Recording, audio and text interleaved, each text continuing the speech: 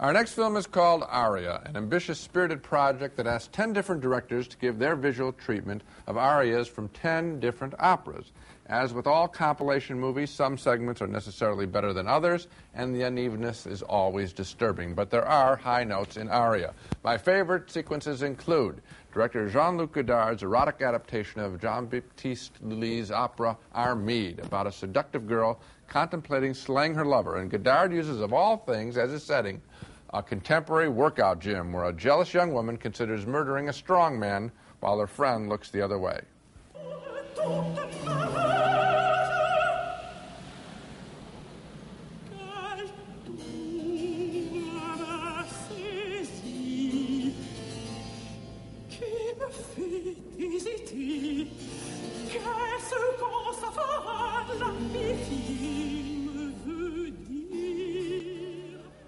Totally different is the contribution of director Charles Sturridge, who worked on TV's Brideshead Revisited. Here he uses black and white photography in adapting Giuseppe Verdi's La Forza del Destino, telling a story about three children in culture shock with burnt out lives.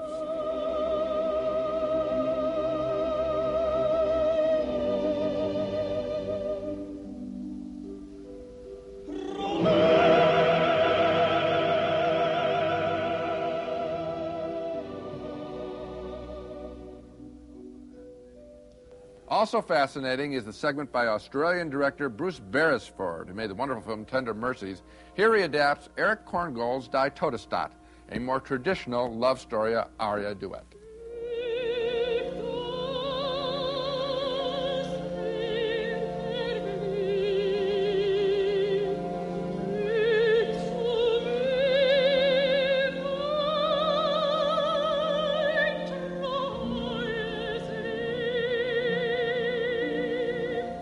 I liked many more of these little films than the few I didn't enjoy, but there was the feeling of being cheated because of the length, because of the ones you really like, let them run.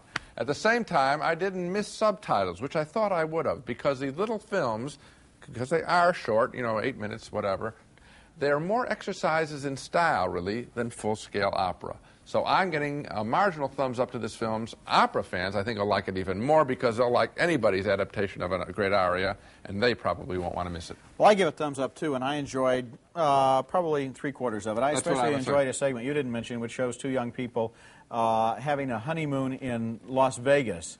Uh, a totally inappropriate backdrop and setting for the romantic aria that they sing. Yeah. And I thought that was very nice. You know, this movie is now playing around the country uh, in kind of a, a wave of releases. If it Right. hasn't come to your town yet, it probably will eventually. But you know where I think I'm really going to enjoy it is when it comes out on video, and especially on Laserdisc with that great sound. It's kind of like a, a top 40 of opera or something uh, with all of these wonderful visuals. It's sort of like the first music video of opera. Yeah, I just wish, and I don't know if you feel the same way, I wish for the good ones, uh, especially the Godard film, which I thought was just great.